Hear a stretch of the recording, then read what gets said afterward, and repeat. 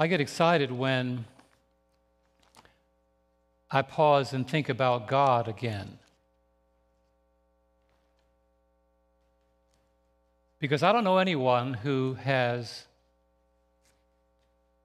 a military record with no defeats.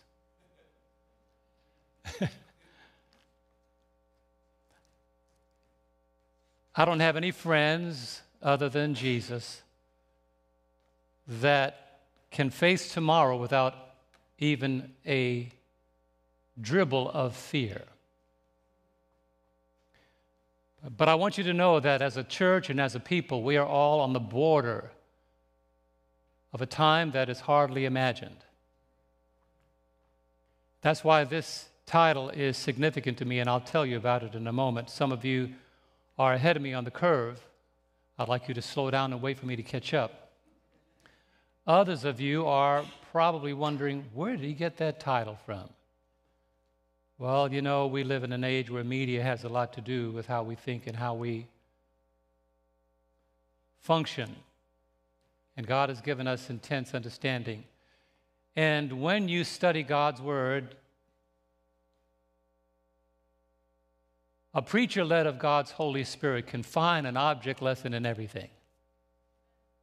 So, but I want you today to be, here's my favorite word, I want you to be calibrated to hear what God has to say to you through His Holy Spirit. So, bow your heads with me as we approach this very challenging topic entitled The Tomorrow War. Let us pray. Loving, gracious Father in heaven, the privilege may be ours, but the work is yours. Lord, never allow us to stand here and take the glory that belongs only to you. And even as you use my voice and the work that you have called me to do in putting this message together, I pray that your people can hear how it applies to each of their lives. They can glean from it the spiritual nourishment that each one of us is in need of to be ready for the tomorrow war. Send your holy angels to surround this place and minister to us and your Holy Spirit to keep us alert. In Jesus' name I pray. Amen. I want to begin with the scripture from Deuteronomy. This is our scripture reading for the day. Deuteronomy, chapter 20, verses 1 through 4. You can follow along in your Bible, but it's also on the screen. Deuteronomy 20, verses 1 to 4. And the Lord, through that faithful man named Moses, gives us these ancient words with contemporary application. When you go out to battle against your enemies and see horses and chariots and people more numerous than you, do not be afraid of them, for the Lord your God is with you, who brought you up from the land of Egypt. So it shall be when you are on the verge of the battle that the priest shall approach and speak to the people, and he shall say to them,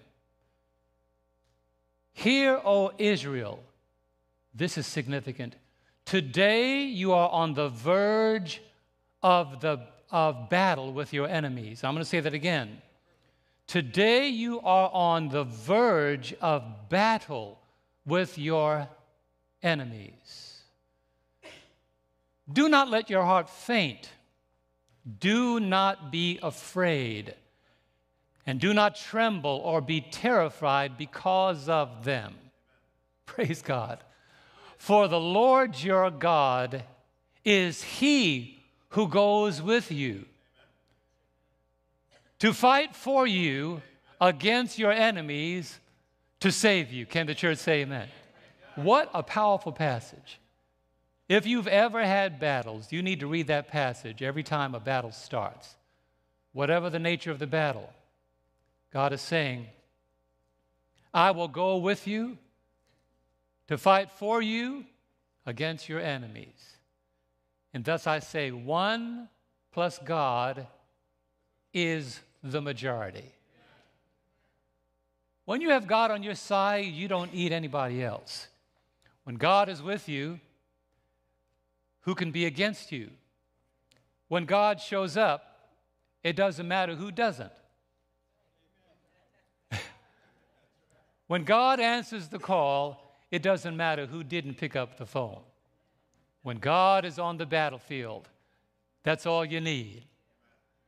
He that is with us is more than he that is against us. They that be with us are more than they that be against us.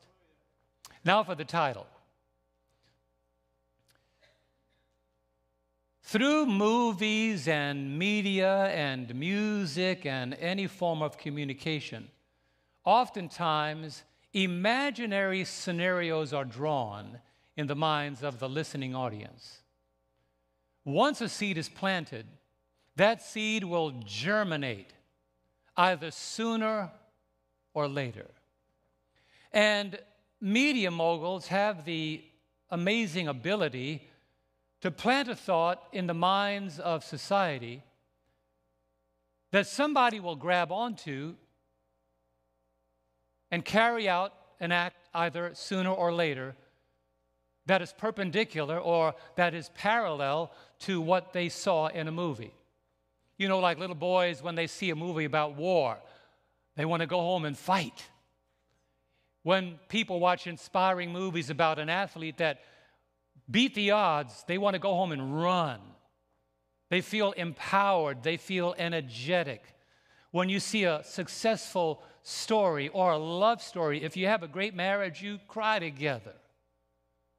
You laugh together when something funny occurs, and it impresses you for a period that you cannot determine. But whenever you see something that related to what you watched or what you heard, somehow it has a way of getting into your character and causing you to act out what you have perceived. Well, the writers and the directors of this recent movie entitled The Tomorrow War, it is a depiction that in the future, as they said 30 years from now, according to the writers of the movie, people will come back from the future to the present and would say to us, There is a war that is being fought for the survival of everyone on planet Earth.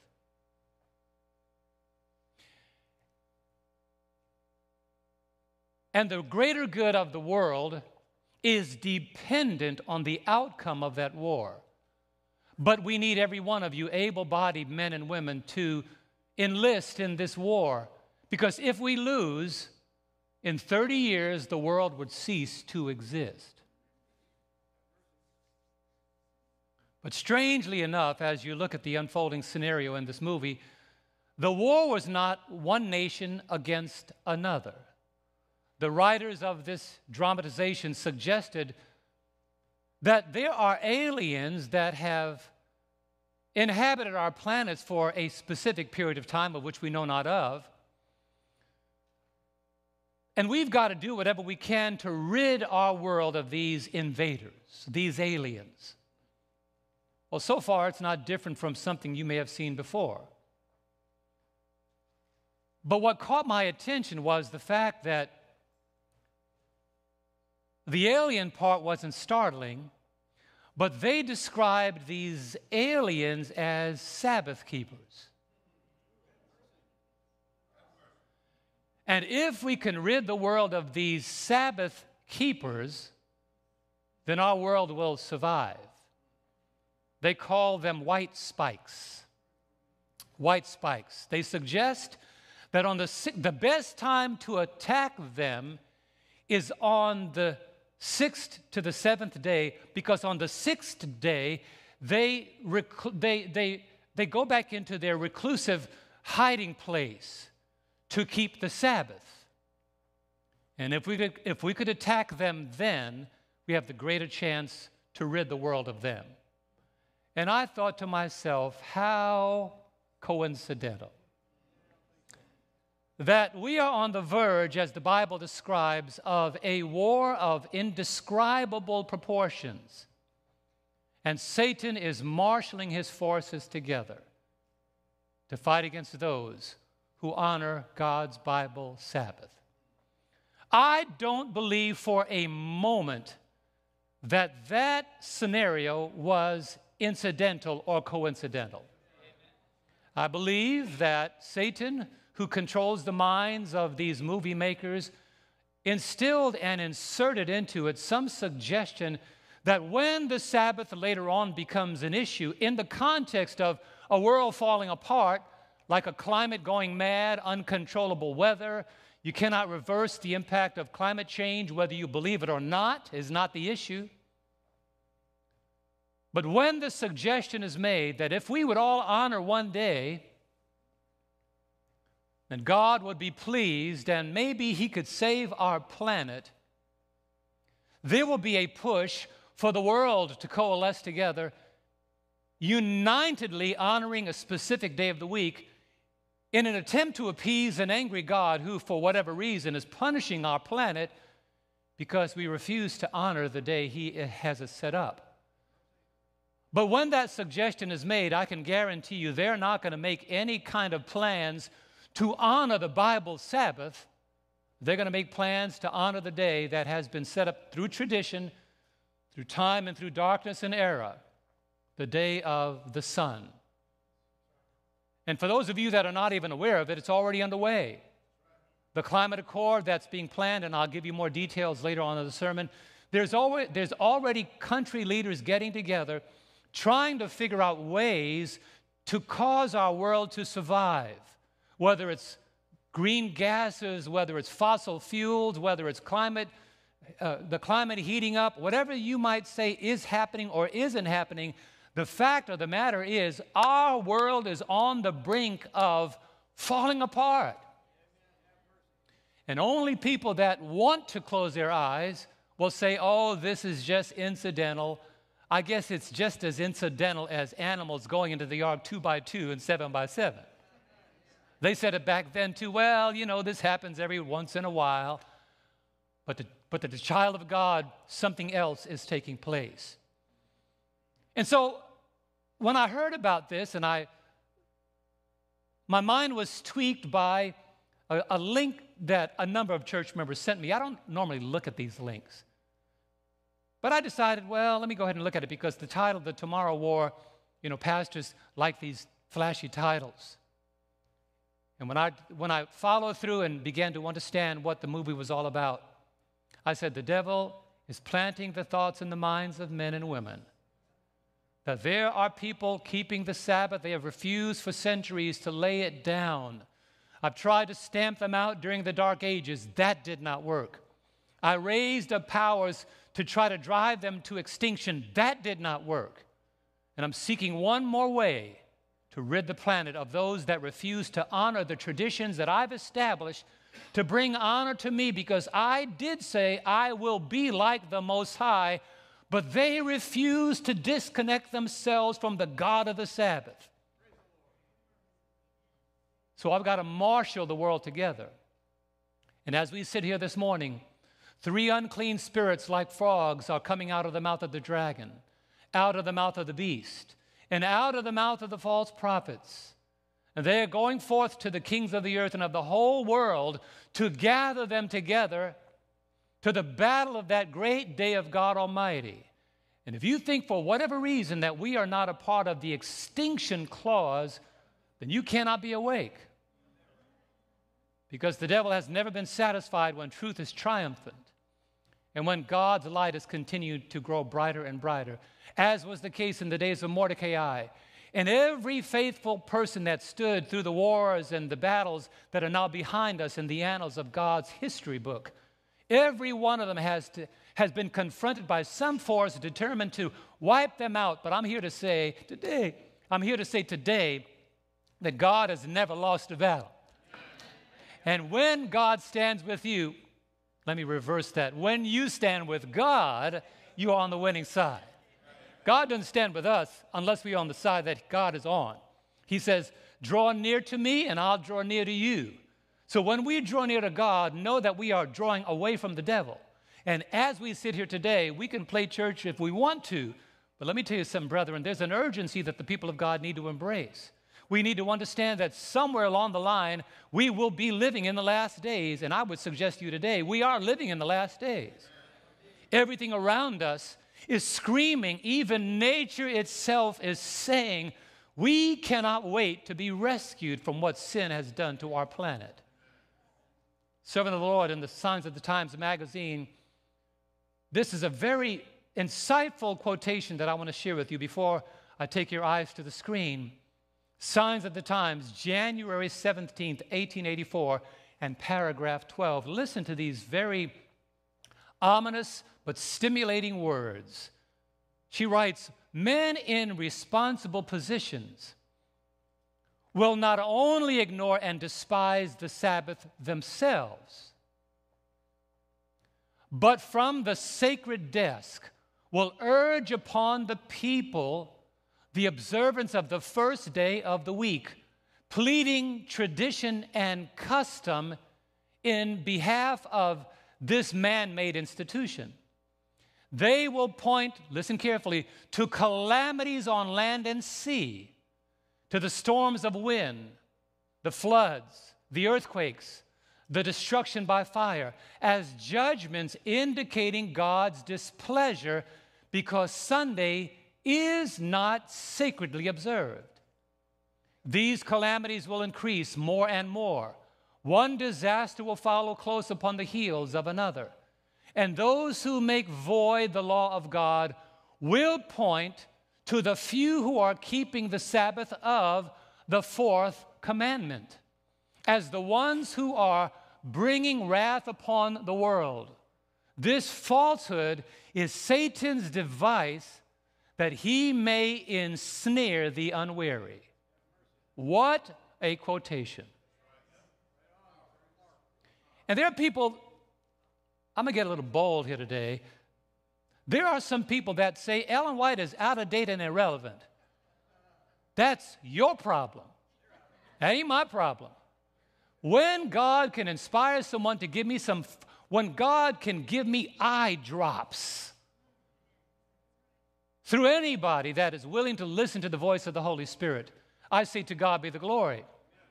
This is to me a prognostication of the fact that, as the text says, we are on the verge of going to battle against our enemies.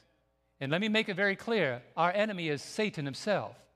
Our enemy is not those that go to church on a different day of the week. But if God brings to you light in place of darkness and truth in the place of error, and a clear understanding in the place of confusion, and then you decide to reject it before the mark of the beast even comes, you have consented that when the mark of the beast comes, you will be more than willing to receive it. Some people say, well, the mark of the beast hasn't come yet. For some people, it already has. Let me tell you what I mean by that. Because some people have heard the truth of God's word and have recalcitrantly determined to stand against it. And they said, I don't care about the Sabbath. I don't believe it. I'm not going to embrace it. I don't care what the Bible says. I'm happy where I am. They have already spiritually received the mark of the beast in their lives. Because they're saying that when it comes, I will embrace it with my whole heart. So, this idea that we have to wait till it comes in order for it to be a real issue, when the issue does arrive, then the world will be confronted by it. But there are those today who are closing their probation on truth because light has come. And as Jesus said, men love darkness rather than light because their deeds are evil. And, brethren, we are on the verge. Some may suggest that these words are irrelevant to modern times. But in light of the developing climate, the words that I just read seem relevant to me today. They are pregnant with relevance. Praise God for that. Whatever the reason the world is facing a stupendous crisis, whatever the reason the world is on the verge of a crumbling society, like an Oreo cookie and a cup of milk, it's just falling apart. And there's nothing we can do to reverse it. You can't put back a crumbled cookie, and you cannot put back a world that's falling apart. The only answer for our world today is Jesus. That's why I say to these young men that are fired, fired up and excited about the gospel, preach it like there's no tomorrow. Proclaim it like it's going to happen in the next 10 seconds. And don't let anybody turn you around. Don't let anybody say to you, well, why are you so passionate? God is not looking for limp people in these closing critical hours. God is looking for men and women that are determined to call it like they see it, like God's world reveals it. Because God's word is sure, we can trust it. And brethren, today, I've had conversations this week from a number of people that have called me Pastor John Stanton called me, and he and his wife Rochelle shared with my wife and I that the world is falling apart. And then another good friend of mine, Greg Mace, who we've known him for 40 years now uh, in the Heritage Singers, the, uh, Max Mace's son, he called me last night and with his voice in, in, in, a, in a pitch of urgency, he says, John, John, I believe that Jesus can come back in two weeks. Now, he didn't mean that prophecy means that everything is going to happen in two weeks, but he was saying, he says, if you lived in California, you would believe that the world could come to an end in two weeks.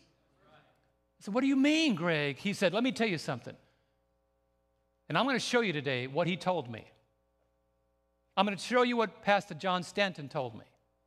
Pastor John Stanton called me and he said, Oh, we just came back from California. You know, we like to go to California. We went to, we drove down to California. We went to San Francisco and enjoyed right there by um, the um, Golden Gate Park, where everybody parks. It's just everybody's out flying kites and roller skating, and it's a very, very stimulating environment. It's great to be there. I mean, my wife and I have done that many times. We just Pier 39, and you just park your car and it's safe.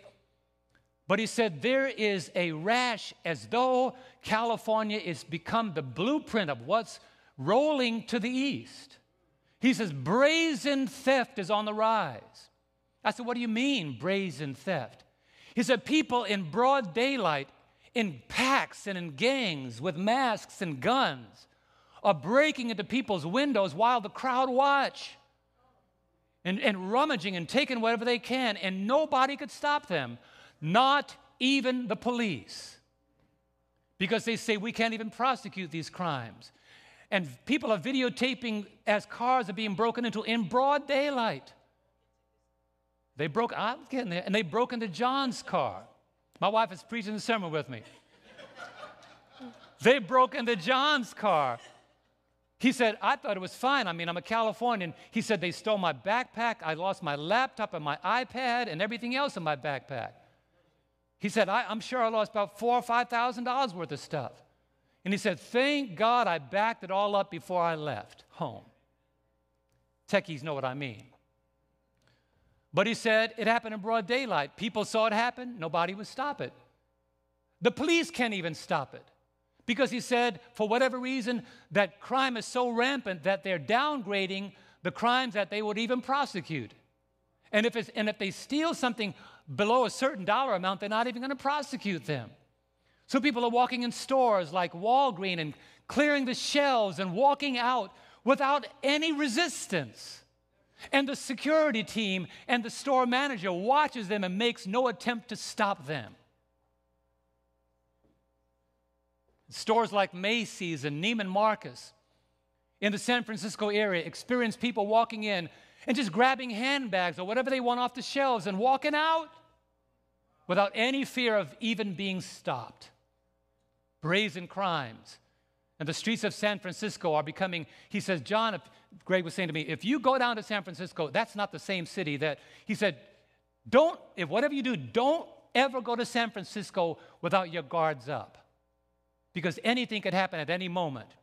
People are hiring independent security guards to watch their cars while it's in the car, while it's in the um, car garages. They said they're parking garages. They said they're those people that have those upper end cars. They're hiring armed security to watch their cars while they go shopping. Did you ever believe that we would get to that point in society? Here we are sequestered in, in, in, in, in, in Farmville, and we think that the world is just like this. So today I want to shock your sensibilities. I'm going to walk you through some of these. Here's a picture of the Walgreens store This is in San Francisco. You see on the right the security guard, and on the left the store manager, and in the background there's a guy pillaging. He, he brought, they said, this, I read the article, he brought in a black garbage bag and he's filling the garbage bag with what he wants. And he gets on his bike and he rides right past the security guard without any fear of reprisal, and nobody's stopping him. And Walgreens pharmacy, they said the pharmacy is now being, by, being protected by armed guards with shotguns or whatever they, they're protecting the pharmacy because they're fearful that these drug lords will come into the store and just start pillaging the pharmacy, taking what they want. So they're protecting the pharmacy. But they said Walgreens is closing their 12 stores in the San Francisco city area because of this kind of happening. Not only that, this is a picture of Neiman Marcus. These guys, they come in with hoods, they cover their faces, they go into the stores and grab whatever they want and they run out. Read the article. They said Macy's and Neiman Marcus are taking measures into their own hands, these stores in the San Francisco area. So, what they're doing is they're putting in security devices in these bags so that, and they're putting in gates that if you steal something and you're trying to run toward the exit, the gates come down and lock you in. Because he said they can't get help from the police themselves. And if you think I'm making this up, check it out yourself. I don't like sensationalism, I like to tell it like it is. That's just, the, that's just the tip of the iceberg with no fear of reprisal. That's happening in the West. On the other hand, our natural resources are either going up in flames or being washed away in torrential floods. Forests are burning up, the water supply is drying up. Let me take you, this is a map of what's happening starting to the west and going to the east. You'll notice the colors dry, moderate, severe, extreme, and exceptional. You notice the color exceptional in the Las Vegas area, the Salt Lake City area, the Albuquerque, New Mexico, San, uh, all these regions where it's dark red. That means they are already on water rationing. But you'll find out what I mean by that in just a moment. Let me go to the pictures and specifics. This is a picture of Folsom Lake. This is today. We used to live, to, we, used to, we went to Folsom Lake and did jet skiing before. You see those things to the bottom right? Those are where the boats are normally docked. But there is no water to dock a boat. So they're all empty. These they're all empty. There's no place. The water is receding at such a rate that, as Greg said to me, he said, This is not Folsom Lake, it's becoming Folsom Desert. Because the water is receiving, receding at such an alarming rate. Let's go on further. This is the uh, California reservoir. The water is down to 17%. What would happen if our water was down to 17% in this area? Do you know what that means? He says right now they're giving people fines if you water their grass. This is in California. This is not in Arizona where they don't normally have a lot of watering taking place. But the challenge here is as the water begins to dry up, the cities like Southern California that this reservoir furnishes, water rationing is going to be take, is already taking place in this state. And people are, people are threatened by fines if they are caught watering their grass. But on the other side of that, they said that there is water crimes happening all around them. Thieves are tapping into the fire hydrants during the night and siphoning water out when people cannot watch and carting them off in truckloads to survive for their own selves. So they're already, in many cases, fighting over something as simple as the resource of water in the West. Let's go further. Let's go further. This, this is Lake Oroville. This is by Oroville, California. You see the bridge? You see the, you see the river that used to be below it?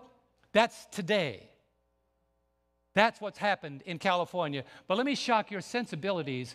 Climatologists say that according to what they see, that the West Coast has two more years of drought ahead of them. And this is what happened just between 2020 and 2021. Let's go on. This is the lake in Utah, Utah water crisis. That used to be if you look up that brown line right up here, the water used to be up to that level. Well, look at where it is now. That's one of the park rangers looking at what is happening. And just recently, there was a torrential downpour of rain, but they said the ground is so dry that every drop of that rain just got sucked right into the ground because the water levels are so far below the ground. It has to fill up below the ground before it can even get to table level, then to start going above. In one of those cities in California, they said if you were standing at this very same pot in, 20, in this very same location in 2019, you will be 100 feet below water level. But the water has dropped 100 feet, and they said now these towns that people have not seen for decades are reappearing. And you're able to walk across what used to be a lake thriving with water. This is in Utah. Let's go even further. Nine, this, is, this is amazing. This is not even, this is not even, I'm not even making this up. 99.94%, that is the drought in, in, in, in, Utah. They said 99.94% of their water supply, that's, that's the level of, they call this exceptional drought. That used to be water. And in the distance, it's, received, it's receding and disappearing. This is happening in the West. Let's go even further. That's one side. You see the brown, the white water lines? That's Lake Mead. The water is down 140 feet down. Where the brown line, that's where it used to be. But some people might say, well, 140 feet, that's not that much. But let's look at the explanation. They may not seem like much, but six feet of water loss equals 300 billion gallons of water gone for human use and what else? Hydropower. Meaning the water levels have dropped so low that the water is not even reaching the turbines. So they can't make electricity. It's a, it's, a, it's a rolling, one thing affecting the other. The water is not even up to the turbines, and the lower turbines are not powerful enough to substitute what the turbines in full force can accomplish together. And the turbines here, the power is, is powering Colorado, it's powering the states that are below that. So what's happening? No water, no power. Let's go even further. That's a picture of the Colorado Dam, the Hoover Dam which is the water levels, it's normally up to here. It's down, they can't, even, they, can't even get the turbines to spin because there's not enough water to even go through the turbines. Brethren, these are signs of how the indicators, look at this. This is Lake Mead, 1984 on the left. That was what Lake Mead looked like. This is Lake Mead as of 2020 on the right. It's worse today. That was a year ago. Let's go further. What about the fires? California fires. As one firefighter described it this week, he said, These fires are of biblical proportion. We cannot control them, we cannot stop them, and they are continuing to proliferate. Some set fires and the embers fly and start a fire someplace else. That's California. Here's Canada. Canada is saying for the first time they have never had fires like this in their recorded history. But look at the backlash. What do you need to put out fires? okay, so if there's not enough water in the West and the fires are in the West, what do you have? A vicious cycle. That's Canada. Let's go on. This is Washington State. The same thing. Washington State is one of the states that may have a forest fire here and there, but they're saying at the very same time, they are seeing fires that they have never seen before. The West is going up in flames. As I was talking to Greg Mace last night, I thought he called me to tell me about, because he always calls me to tell me about sound equipment, Moses. You know, he and I, we buy sound equipment, and he's always telling me what's the latest thing. He called me, and from the time he picked up, from the time I answered, his voice was at fever pitch. Oh my goodness, Johnny, you would not believe. He said, We are surrounded here in Placerville. Our trees are brown. And all it takes is we are one match away from extinction. Pray for us. My mother is worried. That's Lucy Mace, who just recently lost her husband, Max. She said, he said, Pray for us. We don't know what to do, and we are praying that we will get rain to somehow. And he said, You know what? The fires are not far away from us. we don't know what to do. This is in Washington State. Let's go on. I want to I want to show you what's happening. This is in Oregon, the Oregon fires. The Oregon fires, once again, like all the other in Washington and California and Canada, are out of control. And there are not enough firefighters on the fire lines.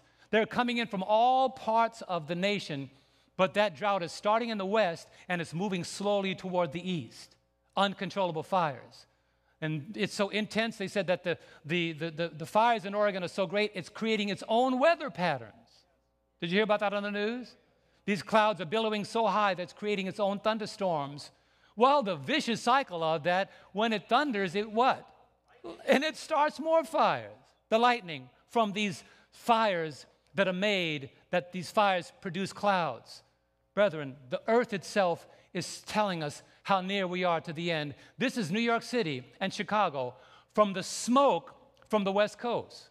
My sister talked about that the other day. She said, We can't even see here in New York City. This is fires from the West Coast. The smoke is going to Chicago and New York City. Brethren, I want to tell you, God picked this location for us to be living in. Because right now, Jason, all of this impact See, we complain about rain. Thank God for the rain. Amen, Amen church. Amen. Rain on. Bring me some more rain. Saturate my grass. My trees are growing so fast I can't even keep. Bring the rain, right, Jeff? Bring the rain. We don't need what they have, but it's moving from the rest. West is moving east, and it's moving east by going north. Places like Montana and Wisconsin and North Dakota, they're getting the backlash of these fires also.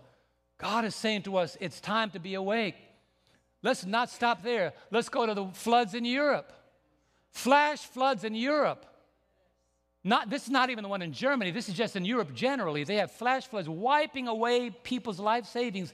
That is a train surrounded by water. That's a European storm. Let's go to Germany. This is in Germany and Belgium. Flash floods so quickly. These are cars piled one upon the other wiping away people's savings. And they said, they said, the reason why when rain starts, we are not concerned because we've never had this kind of rain before. But they had one year of rain in 24 hours. But this has nothing to do with climate change or fossil fuels. It's coincidental. Let's go on further. This is the Germany floods.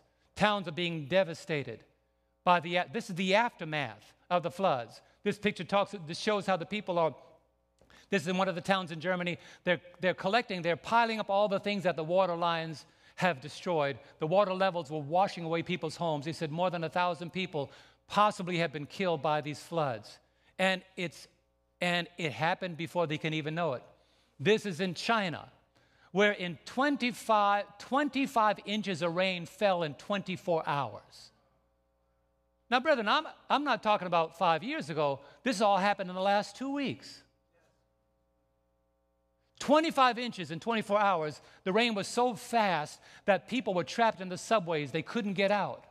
And they kept the doors closed for fear that the water would come in and drown the passengers. The subways in China. And they said 71 rivers in this province in China have overflowed because of torrential rains not just the West Coast, but it's happening in other. And I didn't have all. I mean, I decided to stop here because I didn't want to overwhelm you. I didn't want this to be a complete slideshow. But that's just giving you some indication of where we are in the times of the end. All of creation is groaning and saying that we are living on the verge of a stupendous crisis. What else do the people of God need to see to say, God is giving us time to get out and let other people know that Jesus is soon to come. This is the hour of urgency. The Bible warned us of these things. The Lord says in Matthew 24, verse 7, For nation will rise against nation. We've seen that.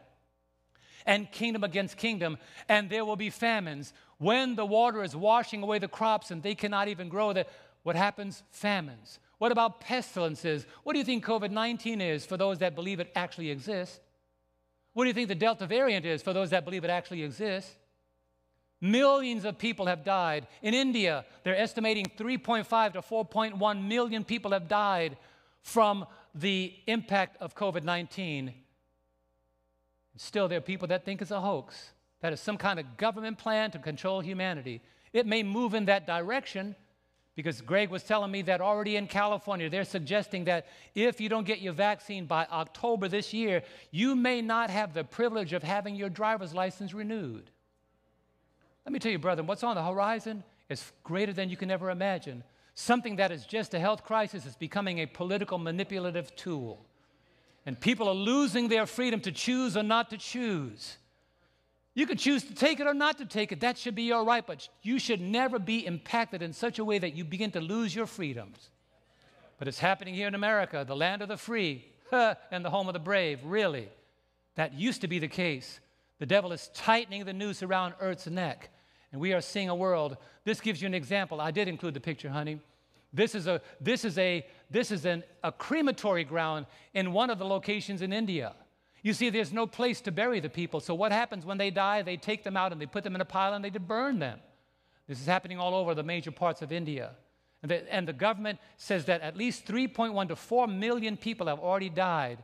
Now they're saying it may not all be COVID related, but the hospitals are so packed that when people die from whatever the disease is, they have no choice but to cremate them in open air. What's happening in our world today? The Bible says that these things are going to happen more rampant. But I want to make a point today. The climate of the world is no surprise to God.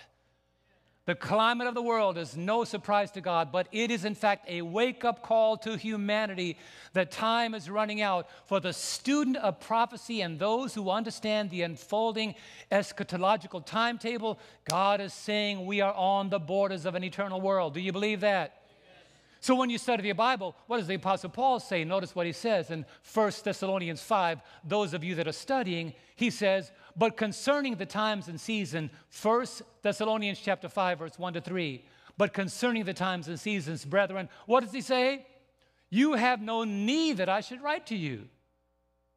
What else can God say to Seventh day Adventist Christians?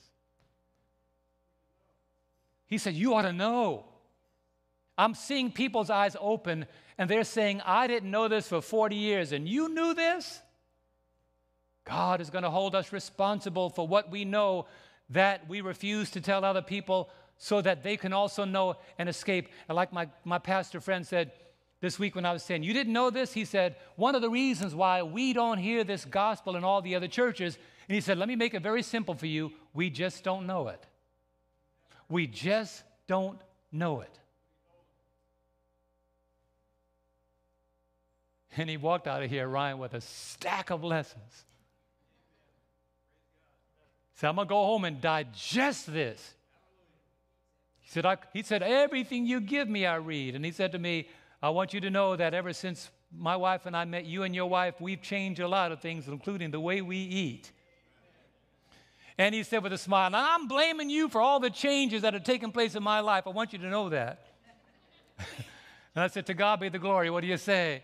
When the changes are from darkness to light, from error to truth, we ought to love people enough that we get to know them and get to show them that we care about them. But don't hesitate to bring before them the truth of God's word. That's what God has called us to do. God has not called us to be comfortable church members sitting in a recliner waiting for Jesus to come and take us to heaven in first class. He's saying, get on the street, hit the streets with the gospel beat, and tell people Jesus is coming soon urgency. Because I can tell you, there are people by the thousands that were washed away by these floods. As Ellen White says, many are being taken to Christless graves. And that's what the devil desires.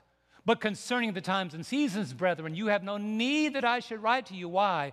For you yourselves know how perfectly that the day of the Lord so comes as a thief in the night. For when they shall say peace and what else? Safety. Then sudden destruction comes upon them as labor pains upon a pregnant woman. And you saw it, let's say it together, and they shall not escape. What can we see in these things happening in our world today? What is God saying to us? I go back to a documentary written for our admonition today, and it's amazing when we look at the location of this salutation. Look at this.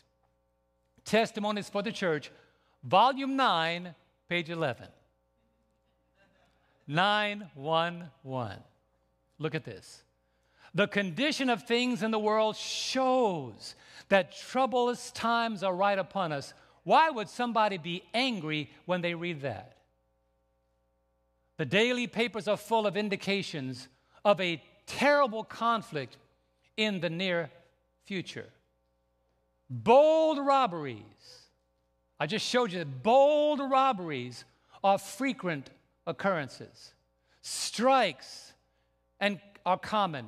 Theft and murders are committed on every hand. Men possessed of demons are taking the lives of men, women, and little children. Men have become infatuated with vice, and every species of evil prevails. That's our world. We go outside and we smell the grass and we say, We're fine. But, brethren, you go to any major city. Right now, St. Louis is cracking down again to instill mandatory mask wearing because, for whatever reason, they didn't take the vaccination seriously or they didn't take the COVID seriously. And now it's, it's, it's, it's climbing so exponentially that not too far away from us, we got the freedom to choose to wear it or not here in, in the state of Illinois. But a lot of these major cities, and already the places where people had the choice to take it or not, now governors and leaders of other states are saying the reason for this surge, they're beginning to blame those who chose not to take the vaccine. Could you see where this is headed? Can you see where this is headed? You'll be hated of all nations. If you choose not to coalesce or acquiesce with what the common society is suggesting, you will be maligned. We are living in amazing times. But I say once again, these times are not and should not be a surprise to the people of God. You see, the more instrumental scenario is what we found in the opening scripture. As Moses wrote, Today, speaking to the Christian, to us today, today you are on the verge of battle with your enemies. And if you don't believe it, if you don't believe that we're on the verge of the tomorrow war, all you've got to do is refamiliarize yourself with the words of Satan in Revelation chapter 12 and verse 17. This is his attitude. This is his plan. Revelation 12, verse 17, the King James Version. And the dragon was wroth with the woman and went to make war with the remnant of her seed, which keep the commandments of God and have the testimony of Jesus Christ. Let me tell you, brethren, I am not going to abandon the commandments of God by God's grace. What do you say? Not just the Sabbath, all of the commandments of God, because there are 10 commandments, not just one. There are 10 commandments. See to it that your life is lived in harmony, and by the grace of God, I can do all things through Christ who strengthens me. Don't be a proponent of just the Sabbath like the Pharisees were and broke all the other nine, but pray for God's Holy Spirit to work in your life obedience that is actuated by a love for Christ a love for God, and a love for the truth. And when that happens, you are a servant ready for the fire that's coming, ready for the tomorrow war. That's why today, as, to, as I take you down to the latter part of the sermon, I'm going to highlight a particular character in the Bible, a man by the name of Joshua. Go to Joshua chapter 11 with me. Because Joshua faced a similar scenario. Joshua is one of my Bible heroes. Joshua is a young man that I cannot wait to meet. Got a lot of heroes in the Bible. I'm surely going to have a lot to talk to about Peter because Peter and I had so much in common. I could talk 500 miles an hour with Gus up to 750. But God finally got my mind synchronized to the Holy Spirit. But Joshua was a young man who faced similar situations as we're going to face in the near future. The forces that opposed God were coalescing together against the children of Israel. And God looked down to see if there's a man willing to stand with God to fight against these forces of darkness. And he found a young man by the name of Joshua. Look at Joshua 11, beginning with verse 1. The Bible says, And it came to pass when Jabin, king of Hazor, heard these things that he sent to Jobab, king of Madon, to the king of Shimron, to the king of Achshaph, and to the kings who were from the north in the mountains, in the plain south of Chinneroth, in the lowland, and in the heights of Dor on the west, to the Canaanites in the east, and in the west, the Ammonites, or the Amorite, the Hittite, the Perizzite, the Jebusite. I'm going on further. All of these in the mountain, and the Hivite below Hermon in the land of Mizpah. So they went out, they and how many? All their enemies with them, their armies with them, as many people as what? The sand that is on the seashore in multitude with very many horses and chariots. And God said to Joshua, There are a whole lot of them. There's a whole lot of them. They have all coalesced together. And as we sit here today, Satan is constructing the battle of Armageddon. He is looking at the issues. He is seeking to take advantage of things that could be resolved pretty diplomatically, but he's looking at the hearts. He's listening at the chambers of Congress, and he's listening to men that have positions of leadership. He's listening to the thought leaders, to the economists to those people making decisions about what we can buy or what we cannot buy. He's so ordering things that, as Ellen White says, that the people of God in the future will not have mercy. And somebody might say, well, that sounds like an alarmist talking about things that are not going to occur. But you can believe that all you want.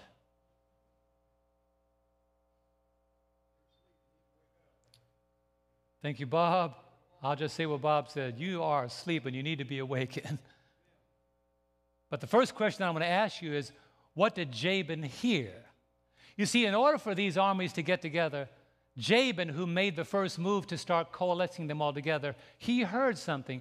Why would you need so many armies, so many kings to coalesce with you, so many bands of military to go and fight against Israel and Joshua. Why would you need so many? Because the Bible says, and it came to pass when Jabin, king of Hazor, heard these things. So the question is, what did he hear? What did the enemy hear that he knew he needed to pull all these forces together to fight against this small band of those obedient to God's word? What did he hear? Look at Jeremiah chapter 10 and verse 40. This is what Jabin heard. Oh, this is what Jabin heard. So Joshua conquered how much of the land? All the land, the mountain country, and the south, and the lowland, and the wilderness slopes, and all their kings. He left none remaining, but utterly destroyed all that breathed, as the Lord God of Israel had commanded. Now let's, let's put this together. Let's not run too fast. What Jabin heard was everybody that stood in the path of the people of God didn't have a chance because God was on their side. Come on, say amen, somebody. He heard that, wait a minute, Joshua is not a one man army, Joshua has heaven on his side. Let me tell you something, friends. When you've got heaven on your side, you better believe the devil's going to try to find a way to defeat you. So, in the near future, he's going to coalesce all these forces together, the kings of the earth and the whole world. He's going to gather them together because he knows he faced Jesus in heaven and lost. Praise God for that. He faced him in the garden and lost again. Faced him at the cross, and Jesus came forth victoriously. Praise God for that. And Jesus left, and all he had was just a wound on his heel. he told the devil, I'm bringing you down. And the Bible says he was manifest that he might destroy the works of the devil and the devil himself and release those who all their, all their lifetime were in bondage to fear. So I don't fear anymore. I've taken fear out of my vocabulary. So I could walk into buildings where professional people are and say, God, they said don't walk in here unless you have an appointment. You bigger than that. Amen. I don't need a, I'm here and God, I said, I'm here to talk about an event that's happening on September 11th, and I want to talk to somebody about advertising. Come on in. God can bring down walls that man erects. And let me tell you, while we're talking about plans, I can tell you the devil's going to try to find his way to mess it up. If you don't think that, I told you a few weeks ago, whenever there's opportunity, there'll always be opposition. But whenever there's opposition, there's omnipotence, and it's called God. So, as we prepare for tomorrow war, we must remember that God gave Joshua victory and he will give us victory. The world may be falling apart and its resources drying up, but in the kingdom of heaven, there is no crisis, Terry. There's no crisis. But get this God gave Joshua victory. But look at God's promise to us. God's, the Bible says, and Joshua conquered, but look what God's promise to us. Romans 8 and verse 37 Romans 8 and verse 37 Yet in all these things we are more than conquerors. Joshua conquered, but with Christ we are more than conquerors through him who loved us. I don't want to just be a conqueror. In Jesus, I want to be more than a conqueror. What do you say? You can conquer whatever you're faced with. In Christ, you can be more than conquerors through him who loved us. You see, Joshua did not fear his enemies, his enemies feared him. Sometimes Adventists think, well, you know, I don't want to get people upset. You can't be a Seventh day Adventist if you don't want to get folk upset. I'm not talking about offending people. Understand me. But the Bible says in Revelation chapter 22 the fearful and unbelieving will have their part in the lake of fire. What does that mean? Fearful of telling the truth. When you tell the truth lovingly, when you wrap the truth in the love of Christ, you don't need to follow that up with an apology because the Lord will take that seed of love and compassion and find a willing heart that just did not know. Brethren, we can't think of other people and other denominations being our enemies. We got to think of them as our brothers and sisters in Christ. They love the Lord like you do, and maybe some of them love the Lord more than you do. Some of them are living up to what they have, and they're dedicated with all their heart, like my pastor friend says. I've learned, I've known the Lord all my life, but God has chosen to bring me to this point where He can bring me out of darkness into this marvelous light. That's what God wants to do. So don't look at people of other denominations as your enemies. That's not your enemy. We don't wrestle against flesh and blood, we wrestle against the forces of darkness. That's why hell was not created for anybody that Jesus created with his own hands. Hell was prepared for the devil and his angels. Don't be determined to join him in that final bonfire. But when you see people in Walmart and wherever you go, you may not be the kind of person to walk up to folk, but if you have a Facebook page, you could post something to lead them to light. If you got Instagram, put some links on there. Stop putting pictures of yourself. Who cares what you look like? Put something that will show them who Jesus is. Link some lessons from Amazing Facts or from 3ABN's The Bible Questions. Put some videos on there that when people watch it, they'll learn something more than they have known before. Be an instrument of goodness. That's why the Lord said to Joshua in Joshua 10 and verse 25. Notice what he said to Joshua. When Joshua went out to battle, you see, you see, the, the kings that were about to come up against Joshua had heard. What did they hear? Look at Joshua 10 and verse 25. And Joshua said to them, that is to his army of Israelites, Do not be afraid, nor be dismayed. What else should we be? Be strong and of what? Good courage. For thus the Lord will do to all your enemies against whom you fight. I'm telling you, I'm not thirsty for casualties. I want souls for the kingdom. But if you stand in the way of a soul for the kingdom, you'll be a casualty. There is no third category. Either you are with God or you are against Him. Either you're gathering with Him or you're scattering abroad. There is no third category. That's why when we see the conditions of the world, it should not create in us fear. Because the Lord made it very clear what you see in the world is just a harbinger of the soon coming of Jesus. Mark 13 29 so you also, when you see these things happening, know that it is near at the door. Some of these children wait for Christmas, and you know, people say it's right around the corner. I grew up hearing that phrase. That always irritated me as a kid, because I want to go around the corner. Anybody know what I'm talking about? Christmas is right around the corner. And I said, What corner? Let me make it clear the coming of Jesus is right around the corner. The world knows it, nature understands it. All creation is groaning, waiting for the world to go through an extreme makeover. You see, God is going to put to an end all the systems and replace them with His system. And distress indicates how near the coming of Jesus is. Look at the Apostle Luke, what he says. Luke 21 25 hears these words, prophetic words, certain words. He says, Luke 21 25 and 26, and there will be signs in the sun, in the moon, and in the stars, and on the earth. What else, friends? Distress of nations. We're seeing that with perplexity, the seas and the waves roaring. And what else? Men's hearts failing them from fear and the expectation of those things which are coming on the earth, for the powers of heaven will be what? The powers of heaven will be shaken. While the world is being shaken, dark forces are consolidating together. But what did Joshua do when he knew that the forces of darkness were consolidating together?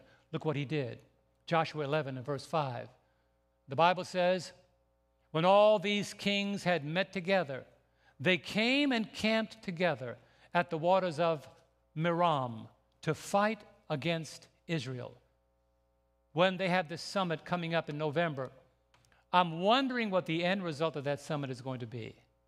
Because the summer, the climate summit that's coming up in November, that's going to take the place, that's going to take place in Scotland and also in the United States and in one other location.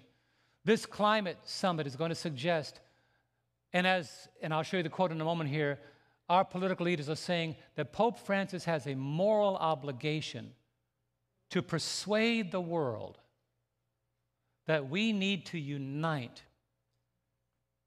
and put into measures those things that we believe will save our planet. Did somebody not tell him that God is about to carry out an extreme makeover of this planet? They don't have to fix anything, Jay. God is going to fix it. What do you say? Behold, I saw a new heaven and a what else? A new earth. So they don't have to fix anything. But what you know what's driving this? This belief that is prevalent in evangelicalism and Christianity that they believe that Jesus is going to come and reign on the earth. So they got to get it ready for him to come and reign. He already came down here. Let me make a statement. Not even aliens want to come down here. Why would an alien want to come to San Francisco and risk getting robbed? they don't exist. That's my point. But Jesus is not coming to reign on this corrupt earth. He's going to purify this earth and replace it with a kingdom where sin will never rise up his head again. But Pope Francis is going to be there, and Reuters News brings out this statement about what's coming up to us. Look at what it says. Reuters News, May 15th, 2021. He says Pope Francis has the moral authority to sway public opinion over what? Global warming and might attend the United Nations Climate Change Conference in Scotland. He has the what? Moral authority to sway opinion. Oh, look what it goes on further to say. It says, um, U.S. President Joe Biden, who also is Catholic, and climate envoy John Kerry said on Saturday, this was a recent interview, May 15th, but it goes on further to say, because he, that is the Pope, is above politics and outside of the hurly burly of day to day national conflict, I think he can sort of shake people a little bit and bring them to the table with a better sense of our common obligation Kerry added. In other words, Pope Francis, we need you to shake up the world a little bit. Get people to the table. Let them know what their obligation is. You know what my obligation is? To preach Jesus Christ crucified, buried, risen again, and soon coming. That's our obligation. Not trying to fix planets, clean up cities. It is our obligation to be stewards of what God has given to us, but our obligation is above that. When we know, but what I'm seeing in this is the fulfillment of Revelation chapter 17. God is in charge of the final movements. Nothing is happening outside of the commanding hand of God. He said, I declare the end from the beginning, and from ancient times, things that are not yet done, saying, I will do all my pleasure. Brethren, God is still in charge. Nothing is happening outside of God's ability to orchestrate the final movements. Look at Revelation 17 and verse 17. This is what Revelation tells us. We might see declining conditions, that may be the catalyst, but God is still in charge. Revelation 17 17. Why would they get together? For God has put it into their hearts to fulfill what? His purpose, to be of one mind, and get this, and to give their kingdom to the beast until the words of God are fulfilled. What beast? That beast described in Revelation chapter 13, that beast upon which the woman sits in Revelation chapter 17, the power of political and religious Rome. God is saying, Give that beast your power and authority because I'm about to fulfill my will. To God be the glory. God is in charge. So when you consider the kings of the earth and the world gathering together, it could be daunting until you read Joshua's diary. Here it is, Jason Joshua's diary. Joshua's diary. We find in Joshua chapter 1 and verse 5 these words What should we be expected? What the people of God, what should the people of God expect? Look what the Lord said to Joshua. Joshua 1 and verse 5 No man, say that with me again, friend no man shall be able to stand before you in all the days of your life. As I was with Moses, so I will be with you together. I will not leave you nor forsake you. That's where that comes from. God's not going to leave us, God's not going to forsake us. Don't be fearful because he goes on further in Joshua 11 and verse 6. Let's wind up the story here. Notice what the Lord does. So God's saying, I am with you. So when Joshua hears about the consolidating armies, look at Joshua 11, verse 6. But the Lord said to Joshua, Do not be afraid because of them. Look at the next word. For when? Tomorrow. Tomorrow. Say it again. When? Tomorrow. Tomorrow, Ricky. When, friends? Tomorrow, about this time, in other words, when the tomorrow war begins, about this time, what has the Lord said? I will deliver all of them slain before Israel. And this is amazing to me. And you shall hamstring their horses and burn their chariots with fire. Not even the horses are going to get away. And sometimes we get sidetracked by you know, military technology. I'm one of those geeks. I may not look like it, but I like to read about all those highly technical things, you know, those, those new jets and those, those uh, stealth battleships, those $20 million under radar planes that America is. I, you know, anybody else like that? Am I the only one? I like to read that kind of stuff. You know, techie guys, ooh, you know, how fast is it? Well, you don't know it's you don't know it's coming until it left. if you don't believe me, remember the Gulf War? Saddam Hussein didn't know what was going to hit him until the planes already left. I like to read that stuff, and you know, it does this and it moves at this speed of sound, and it has this technology, and it could find things. And I'm thinking, wow, and it could see you when you don't even know, and it could, it could pick up a, a, a, a postage stamp from 60,000 feet in high definition. I'm thinking, so how are we going to hide? God's got a secret place for us. What do you say? You think that man can create an arsenal, you stand on God's side. When the armies of the enemies came up against Israel, God said, How many angels do we need for this battle? We just need one. How many do they have? 185,000. Ah, just go ahead and send an angel. Put your sandwich down, go ahead and deal with it, and come back and finish it. That angel went down and wiped out all the army. and came back and finished his meal. Let me tell you something, friends.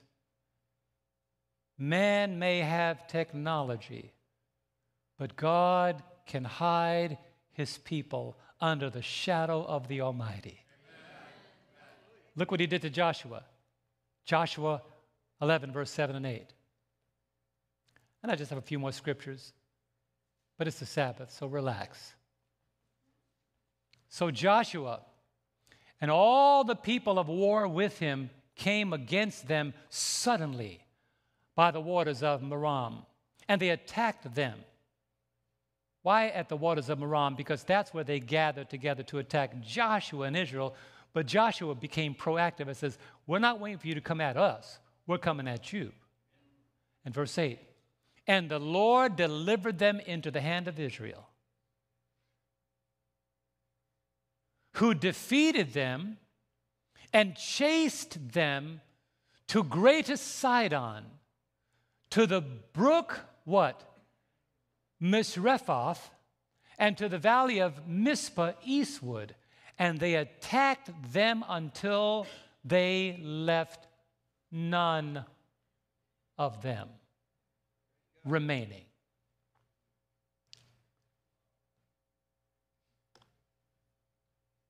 When the great controversy is over,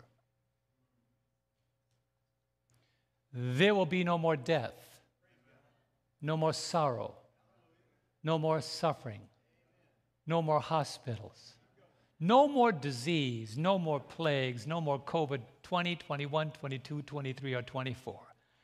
There'll be no violence, no crime, no drying up lakes, no burning forests. There'll be no funerals, no cities that are on the verge of collapse. There'll be no multiple grave sites. There'll be peace forevermore because wherever you look from north to south, east to west, God is going to create a city that is filled with peace. And you'll look for wicked and evil men, and they will no longer be found. Can the church say amen? You see, the outcome of the tomorrow war is already written. David the psalmist said it in Psalm 37, verse 9 and 10. Look what he says in Psalm 37, verse 9 and 10. And I'm going to invite, I'm going to invite Farah to come and just play softly for me in just a moment here. The outcome of tomorrow's war is already written. Psalm 37, verse 9 and 10. For evildoers shall be cut off. But those who do what, friends? Wait on the Lord, they shall inherit the earth. For yet a little while, and the wicked shall be no more. Indeed, you will look carefully for his place, but it shall be no more. What do you say? No more sin, no more suffering. When the tomorrow war is over, all the opposing armies will expire with it. God will clear the battlefield, and the results will be final. Affliction will not rise up a second time. But I want to give you this last quotation before I close. Testimonies for the Church, once again, volume 9, page 11. The days in which we live are solemn and important. The Spirit of God is gradually, but surely, being withdrawn from the earth. Plagues and judgments are already filling, falling upon the despisers of the grace of God. The calamities by land and sea the unsettled state of society, the alarm of war, are portentous. They forecast approaching events of the greatest magnitude. The agencies of evil are combining their forces and consolidating. They are strengthening for the last great crisis. Great changes are soon to take place in our world and the final movements will be rapid ones. What happened when Joshua did what God called him to do? The battle was swift and rapid, but the outcome was to the glory of God. What did Joshua do? You see, the battle that Joshua faced is the battle that God fought through Joshua. Joshua 11, verse 9 to 11 so Joshua did to them as the Lord had told him.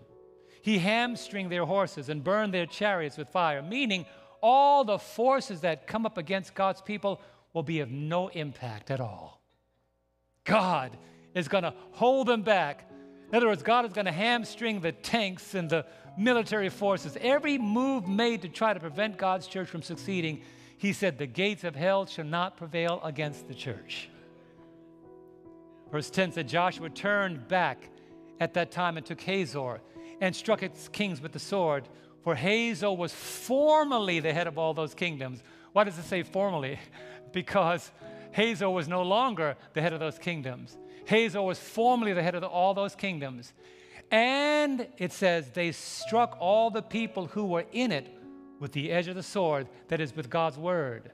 The sword is God's word, utterly destroying them. How? With truth. There was none left breathing. Then he burned Hazor with fire. One day God is going to purify this earth with fire.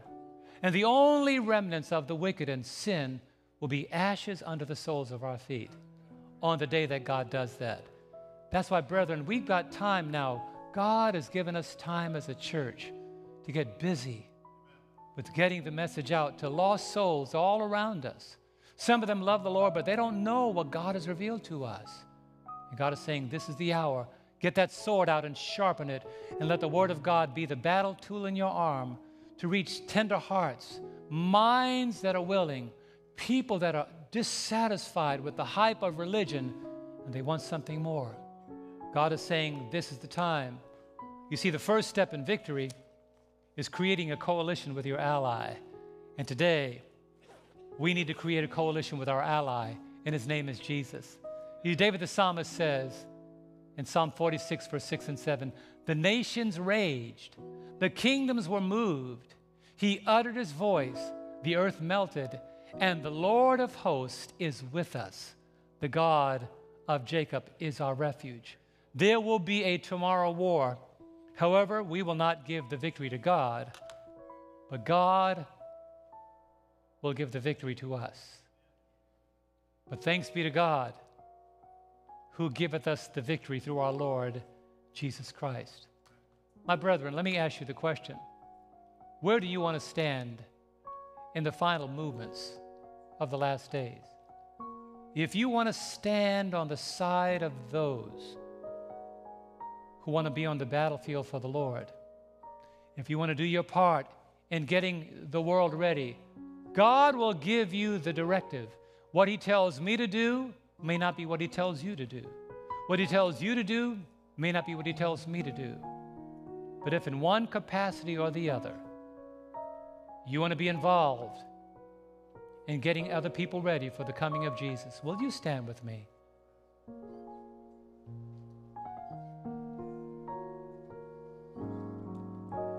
Paul says, But thanks be to God who gives us the victory through our Lord Jesus Christ. 1 Corinthians 15 57. There is going to be a tomorrow war, but there's going to be a tomorrow victory. There's going to be a tomorrow war, and there's going to be a tomorrow victory because Jesus has already won the battle. He's already won the victory over death and the grave. He's already captured even death itself. He's already broken free from the tomb that bound him for those three days. And now he wants to hand the victory over to his church. It's going to get tough before it gets easy. But when you stand with God, the tomorrow war is God's war. It's not yours. But if you stand with Him, the tomorrow victory will be yours. It's not just God's. Our Heavenly Father, we ask, first of all, we praise you. We thank you. We consider what you've done for us, and we remember if God is for us, who and what can be against us? Lord, we have been given the sword not to cut people up, but to inform them, enlighten them, to cut away error and insert truth. And as you've used this sword in the garden of temptation, it is written, it is written, it is written. May we know what is written so that when we put on the whole armor of God, we can stand firm with the weapon of our warfare, with the Word of God, with the undeniable truth of your Word, with a sword that has never, ever become dull. May we study your Word. May we hide it in our hearts. May we live by it and communicate it. And when we sound that battle cry, when we say that we are in it to win it, may we understand we can only win it as we stand with Jesus. And so we thank you, Lord, that yes, there's going to be a war tomorrow, but you've already won it in your precious and holy righteousness. And we thank you in the name of Jesus. And God's people said, Amen.